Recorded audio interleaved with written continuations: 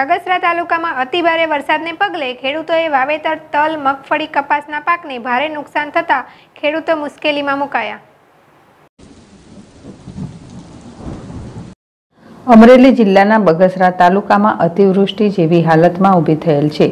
ત્યારે કેટલાય દિવસ સુધી સતત ભારેથી હળવા વરસાદના કારણે અનેક ગામોમાં ખેડૂતોએ વાવેતર કરેલ ઊભા પાકને ભારે નુકસાન થતું જોવા મળ્યું છે.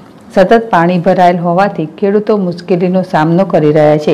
ત્યારે હાલ કપાસ મગફળી તલ, બાજરી સહિત પાકને ભારે નુકસાન થતાં ખેડૂતો મુશ્કેલીમાં મુકાયા છે.